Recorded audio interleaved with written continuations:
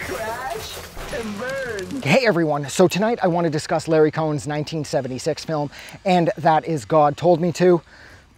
Now, this movie shouldn't have worked, but because the story is just so out there, it really works. Even though technically I didn't love the third act, um, I still, I could appreciate it for what it brought to the table, but it just felt like too many things were dropped in our lap too abruptly, I suppose. But the movie is about a police detective, I believe named Peter Nicholas, if memory serves, and he um, comes across somebody killing people with a rifle on top of a water tower in downtown New York. And when he finally confronts the guy and he's trying to get to know him and he's attempting to do some sort of like hostage negotiation, so to speak, um, he asks him why he did this. And the guy said, God told me to. And then he proceeds to toss himself off the water tower and he kills himself. And this has a massive effect on Nicholas and he can't seem to let it go. Now it is revealed fairly early on that, that Nicholas is a devout Catholic who has both a wife and girlfriend. So I don't know about the devout Catholic thing. The devout should be dropped and he could just be Catholic because of Catholics, you know, they cheat like everybody, but probably not devout Catholics, like anybody devout to whatever faith they're a part of. They, I doubt they cheat on their significant others, let alone their spouses. But anyways, yeah, he has a girlfriend, a younger blonde who he's been with for a number of years, and he's spending more time with her than he is his wife. Devout Catholicism at play here, people. Anyways, um, and so you can see that this is really having an effect on him. And then he receives a phone call saying that there's going to be another mass shooting during the St. Patrick's Day parade. And this time it could be a police officer. And sure enough, it happens. And the officer, if I'm not mistaken, too, is played by Andy Kaufman. Um, he starts shooting other police officers and people until another officer shoots him in the head and stops it. But right before he shoots him, he says, Hey, I did this because God told me to. And Nicholas is really pulled into it at this point. He's completely like he's detectiving his way through this. And just like a lot of Cohen's films, this has a heavy lean towards the police procedural aspects, which I absolutely love. And it's like you, the story keeps unfolding and things keep unraveling and everything keeps getting more and more mysterious and everything keeps getting more and more interesting. And then he goes to see the, the old lady who was abducted by an alien spaceship way back, I think in the 40s, I think, the 50s. And she's, her clothes disappear and she's impregnated aboard this ship through some type of beam of light or something or other. And then she gives birth to this immaculately conceived child, and the child is given up for adoption. And so when Nicholas goes to see her and ask her about what happens, she's of course hesitant because no one's ever believed her. And then all of a sudden, we're just introduced to the final third of the movie where she figures out that Nicholas was her son. He was the immaculate conception or the, the extraterrestrial conception. I don't know. And that's when the movie started to lose me somewhat.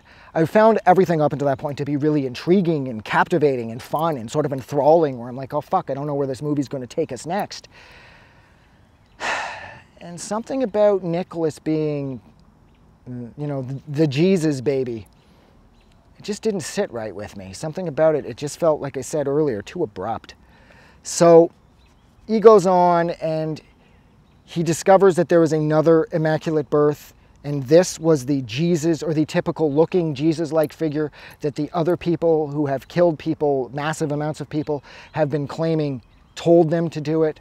And so Nicholas tracks him down and he confronts him and he realizes that they are brothers. And so his brother Jesus says, You know, we could start anew. And he lifts up his shirt and he's a hermaphrodite, so he has the ability to impregnate himself. And he says that we can sort of create this whole race of us, these super godlike beings. And then Nicholas slaps him, and it's at that point that Nicholas realizes that his brother Jesus has never felt pain. So he continues to slap him, and then he pulls out his gun to shoot him, and the building that they're in, or the house they're in, starts to collapse around them and it cuts to Nicholas being led up the steps uh, to, of a courthouse, I would imagine, in handcuffs. And reporters are there and they ask him, like, did you intend to kill this man when you went there? And he said yes. And then another reporter asks him, Why did you do this? And he says, God told me to. And then I have to say, despite not liking the last third of the movie, I do absolutely love the last shot of the film because after Nicholas says, God told me to, he breaks the fourth wall and looks right at the audience. And I thought that that had a considerable amount of impact and it spoke volumes in a lot of ways. And it gave this movie an extra bit of depth and weight, which really kind of helped save the movie for me because I really did not like that last half an hour at all. I didn't like how they were like alien Jesus babies, and I just I just felt it just took it was too hard of a turn. But I did really like him breaking the fourth wall. And after he's broken the fourth wall, there's text text comes up and says that he was committed to an asylum, and that's how the movie ends. Now, I thought a lot of things about this movie were great. Everybody in it can act. They've been in dozens of other films. Um, I thought the story was really good. And even though I didn't like the last third, I still thought it was really clever. I just felt it was just too jarring. It was too, like I said, abrupt. And I liked the setup. I, I liked the feel of the movie. I liked the, pre, the police procedural aspects to it. I liked how it sort of felt like a murder mystery at times. I just didn't love the alien Jesus baby part. And also, too, I noticed that the, the, the organ inside of his brother that has sort of the hermaphroditic aspects, assuming hermaphroditic is a word. I don't think it is, but it doesn't matter. The hermaphroditic organ in his, on his stomach, chest, or whatever, it kind of reminded me of early Cronenberg. And considering this movie came out in 76, you could sort of say it was early Cohen or, or it was early Cronenberg, because Cronenberg did end up doing a lot of body horror, as everybody knows.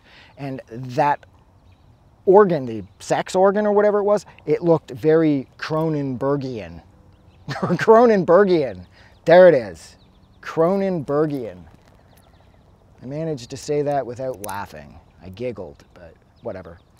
I am going to go, so thank you so much for hanging out with me for seven and a half minutes while I discuss Larry Cohen's 1976 film. God told me to. If you liked this review or discussion or whatever this was, like usual, don't forget to do something nice for somebody. You guys are amazing. Have a good night. I just wanted to say thank you for making it through the entire video. I really appreciate it. And I'm going to remind everyone one more time, even though I've probably already done this in the video that you just watched, to please click the like button as well as the subscribe button because it helps this channel grow. And thank you for hitting like and subscribe, and we will see you guys really soon.